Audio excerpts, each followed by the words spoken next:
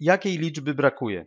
101, 102, 103, 104, 105, 106 jest brakującą liczbą. Potem 107, 108, 109 i 110. Czyli brakująca liczba to 106. 106 to liczba zaraz po 105 i jednocześnie bezpośrednio przed 107.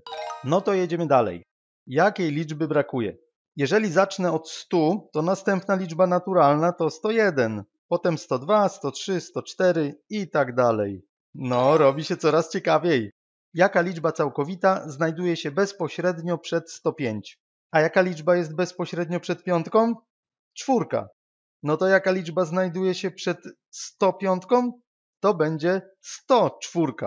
Jeżeli zaczniemy liczyć od 100 w górę, to będziemy mieli 100, 101, 102, 103, 104 i po 104, 105. Znowu zadanie od nas wymaga, żebyśmy wpisali brakującą liczbę. Widać w tym pierwszym rzędzie, że są to kolejne liczby całkowite. Od jednego, 1, 2, 3, 4, 5, aż do dziesiątki. Potem w drugim rzędzie od 11 do 20. Zliczone są tu wszystkie liczby naturalne aż do 120. Ale tu brakuje czegoś. Jakiś pusty prostokąt się pojawił. Tu powinna być chyba liczba o 1 większa niż 118 i o 1 mniejsza niż 120. Gdybym to ja liczył, to zrobiłbym tak. 111, 112, 113, 114, 115, 116, 117, 118, 119, a potem oczywiście 120.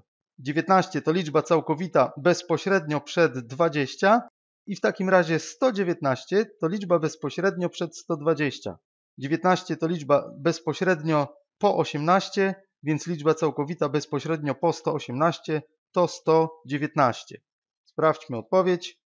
Jeszcze może jedno zadanie zrobimy. Takie zadania już były. Jakiej liczby brakuje? Zaraz po 7 jest 8. No to zaraz po 107 jest 108. Potem 109 i 110.